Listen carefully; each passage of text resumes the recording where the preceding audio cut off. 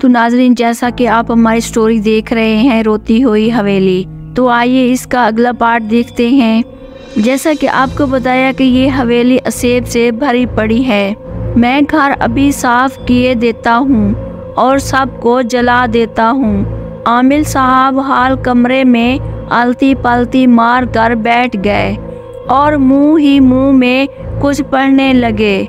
मैं, मेरा कोलीग और मेरा बड़ा बेटा साथ बड़े सोफे पर बैठ गए। आमिल साहब को पढ़ते हुए दस मिनट हुए होंगे के हाल में एक जनाटेदार थप्पड़ की आवाज़ गूंजी। आवाज़ तो जोरदार थी ही, शायद आमिर साहब के चेहरे पर पड़ने वाला थप्पड़ भी बहुत जोरदार था। आवाज़ सुनते ही मैंने आमिर साहब को देखा। जो एक हाथ गाल पर और दूसरा हाथ ज़मीन पे टिकाए परेशानी से इधर उधर देख रहा था। उसी वक्त में एक और थप्पड़ की आवाज़ आई, जो पहले से भी तेज थी। आमिल साहब के दूसरे गाल पर भी थप्पड़ पड़ा था। थप्पड़ की आवाज़ के साथ ही आमिर साहब के मुँह से दर्द भरी ऊँची आ निकली। और उसके साथ ही वो उठकर हाल के दरवाजे की तरफ़ भागे। अभी वो चार पाँच कदम भागे होंगे कि एक और जोरदार थप्पड़ की आवाज़ गूंजी। उसके साथ ही आमिर साहब मुँह के बल ज़मीन पे जा गिरे और गिरते ही उठ बैठे और दोनों हाथों से अपनी कमर मसलने की नाकाम कोशिश करने लगे। हम तीनों जो हैरानी से ये सब देख रहे थे, उठकर आमिर साहब की तरफ़ लिपके। मैंने आमिर साहब को उठाया, वो बेचारे दर्द से लोटपोट हुए थे। खौफजदा नज़रों से इधर उधर देख रहे थे। थप्पड़ मारने वाला नज़र ना आ रहा था। मैं खुद हैरान था कि ये सब क्या है। आमिर साहब के दोनों गाल लाल गुलाबी बने खड़े थे। आमिर साहब ने कमरे से कपड़ा उठाया। वहाँ नीलाहट भरा निशान छुपा कर खड़ा था। आमिर साहब ने खड़े होते ही बाहर की तरफ़ दौड़ लगा दी। हम तीनों वही खड़े रह गए। अजीब सा खौफ मुझ पे तारी हो रहा था।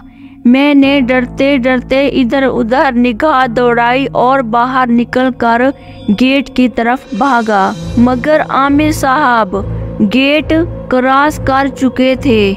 मैं जब घर से बाहर निकला, आमिर साहब दौड़ते दौड़ते काफ़ी दूर जा चुके थे। मैंने उनके पीछे भागने का इरादा तर्क कर दिया।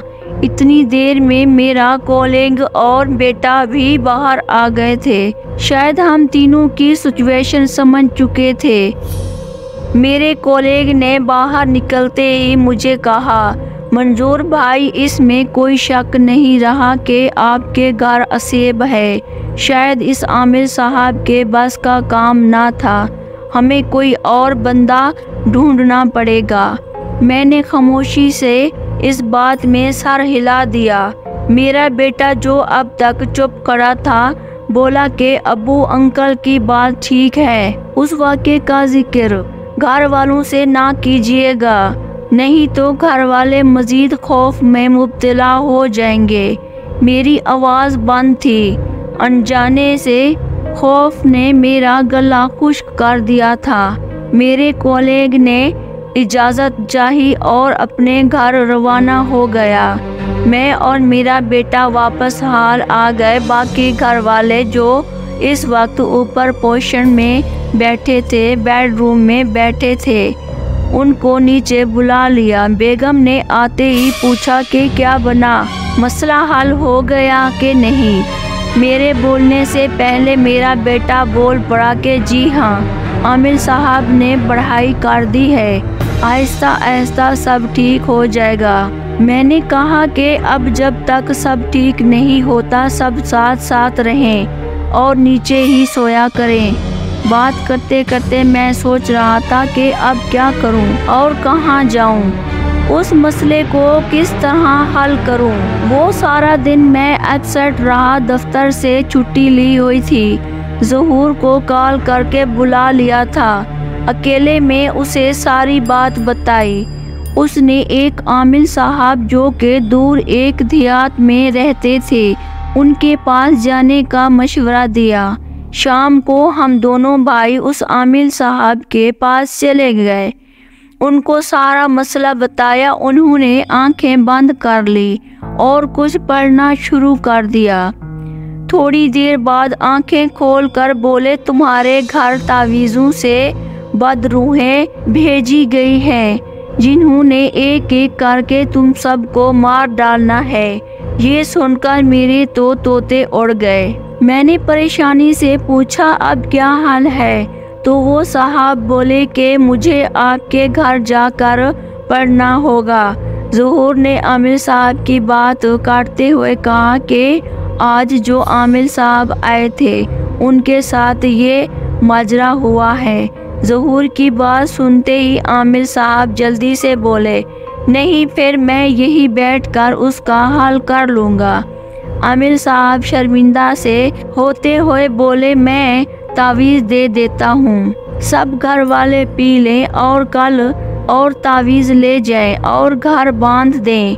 हम तावीज़ लेकर घर आ गए। तावीज़ एक जगह में भिगो दिया और मेरी बेगम ने सबको पानी पिलाया। अगले दिन दोबारा आमिर साहब के पास पहुँचे। उन्होंने एक तावीज़ दिया कि उसे चमड़े में बंद करवा के घर में किसी जगह बाँध दें। सब बदरूहें भाग जाएँगी। हमने वो तावीज़ आमिर साहब की हिदायत के मुताबिक चमड़े में बंद करवा के घर बाँध दिया।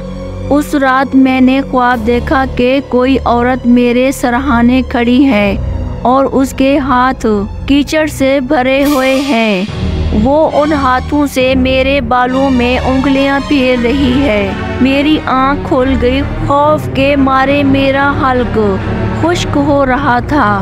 मैंने बेगम को आवाज़ देकर उठाया और उसे पानी लाने को कहा वो भागकर पानी लाई और लाइट ऑन कर दी। मेरी तरफ़ पानी का गिलास करते हुए मेरे बालों को देखकर हैरानी से बोली, ये आपके बालों में मट्टी सी कहाँ से आई?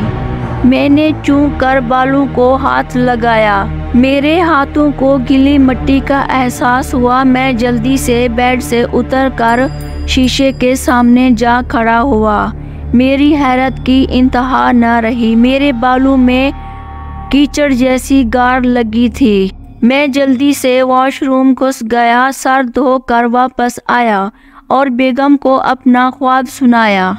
जिसे सुनकर वो खौफ और परेशानी में मुबतला हो गई। सुबह दफ्तर से और छुट्टी ली और उसी आमिर साहब के पास हम दोनों भाई चले गए सारी बात सुनकर आमिर साहब ने उस काम से इनकार कर दिया और कहा कि ये मेरे बस का रोग नहीं, आप किसी और के पास जाएँ। गर्ज उस दिन के बाद से बिला नागा कुछ ना कुछ देखने को मिलता है कभी वॉशरूम के तोले कीचड़ में भरे मिलते हैं। कभी कोई बच्ची डर जाती है तो जिस किसी आमिल का सुनते हैं, वहाँ भाग पड़ते हैं। कोई तावीज जादू कह देता है, कोई कहता है, प्लाट पे भूतों जुन्नू की रिहाइश थी। आपने इस पर मकान बना दिया। अब मकान छोड़ोगे तो जान छूटेगी मगर। मगर मसला जो का तू ही है। मुझे रोज बरोज कमज़ोरी का एहसास होता जा रहा है। कुछ दिन से बेगम बहुत बीमार हो गई है। सब टेस्ट क्लियर आए हैं, मगर उसकी टांगों और कमर का दर्द ख़त्म होने का नाम ही नहीं ले रहा। हमने ये सब वाक़ात हर किसी से छुपा के रखे थे। उस दिन मेरी बड़ी बहन बेगम का सुनकर उसकी इयादत के लिए आई है। वो रात को सोई हुई थी। रात को उनकी आँख खुली कमरे में नीम अंधेरा था। उनको लगा कि उनके सामने बड़े सोफे पर कोई औरत बैठी है। उन्होंने पूछा कि कौन कौन हो, मगर वो औरत ना बोली। उन्होंने उठकर लाइट जलाई, मगर सोफ़ा खाली था। सुबह उनके कमरे में मेरी बेटी गई तो उन्होंने हँसते हुए सरसरी का तस्करा किया कि रात तो मैं डर ही गई और सारी बात सुनाई। बात सुनते ही मेरी बेटी ने उनको उस घर में रोनुमा हुए सारे वाक़ सुना दिए, जिसे सुनकर वो सीधा मेरे पास आई और फिर हमसे कहने लगी कि बहन भाइयों से इस तरह की बातें नहीं छुपाया करते। बदर भाई, आपका ज़िक्र किया मैंने उसी वक्त बहनोई साहब को कॉल करके आपका नंबर लिया और आपसे बात की और आप यहाँ हैं। ये एक मुख्तसर हाल है। ये कहकर मंजूर साहब खामोश हो गए। मैं जो चाय पीते सारी बात तवज्जो से सुन रहा था। चाय का आखिरी घोंट भरा और खाली कप बेंच के ऊपर रख कर खड़ा हो गया और बोला, चले, अब चलते हैं जहूर साहब चाय का बिल देने के लिए स्टाइल की तरफ़ बढ़े, मगर स्टाल वाला स्टाल में मौजूद न था। वो बोले, अब बिल के पैसे यहाँ रख दूँ। मैंने कहा, कल जब जाने लगूँगा तब आपने छोड़ने आना है। तो कल दे दीजिएगा। आप चलें, देर न करें। अगले दिन शाम के वक्त मैं जहूर और मंजूर साहब के साथ ट्रेन के इंतज़ार में खड़ा था। मंजूर साहब बहुत खुश थे। उनके घर से वो नहूसत ख़त्म हो गई थी। जाते जाते उस जिन्नी ने कुर्सी मुझ पर फेंकने की कोशिश भी की थी, जो कि नाकाम रही थी।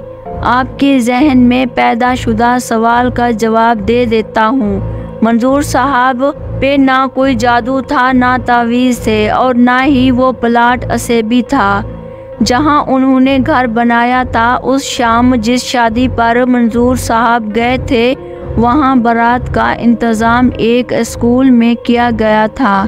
दोस्त की बेटी की शादी समझते हुए मंजूर साहब इंतज़ामिया में शामिल हो गए थे। वो खाना जो बारातियों की प्लेटों में बच गया था, मंजूर साहब ने उस स्कूल से मलहका एक वैरान जगह पर फेंकवा दिया था और वो जगह असेबी थी। जिस वक्त मंजूर साहब वो खाना वहाँ फेंकवाने गए खड़े थे, वहाँ पर एक जिन्नी को वो पसंद आ गए और वो उनके जिस्म की खुशबू पे फिदा हो गई।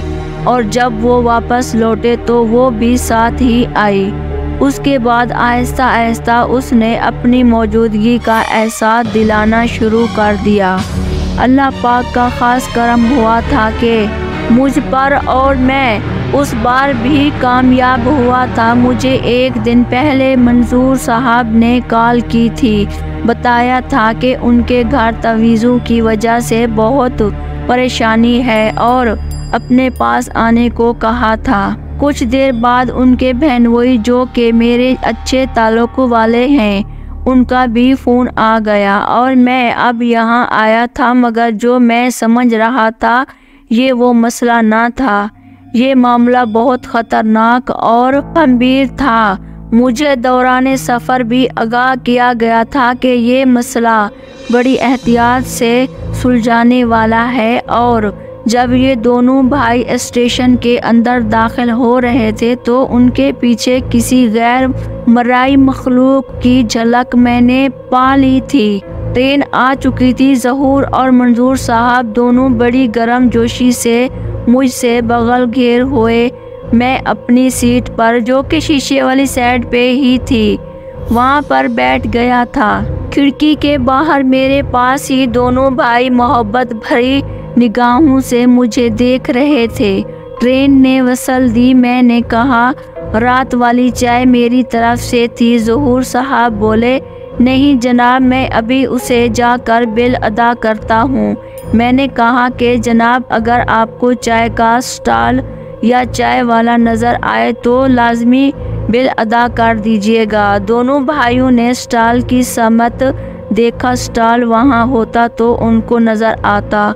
वो तो खुदा का शुक्र है कि मेरे प्यार करने वालों ने अपना एक साथी चाय के स्टॉल समेत वहाँ पर खड़ा कर दिया था, जिसकी मौजूदगी की वजह से वो अफरियत आगे ना आई।